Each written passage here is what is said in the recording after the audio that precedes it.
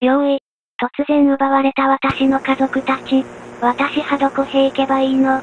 私は狭い箱の中に入れられた。あの男は私を茂ると呼び始めた。私は女なのに、あの顔は茂ると呼んでいるなぜ？餌をくれたあの顔は私を檻に閉じ込めた。しげちゃんしげちゃん。誰もいない部屋で呼び続けるあの顔。しげちゃんしげちゃん。用意。私の足はだんだん腐り始めた。肉薄腐り血はしたたり動かなくなった。もう一度あの野山を走り回りたかった。この世の痛み苦しみ悲しみ抱いたまま。もうじきこの世界ともさよなら家族に会いに行く。あの世でもあの顔の言葉を思い出すのだろう。しげちゃんしげちゃん。用意。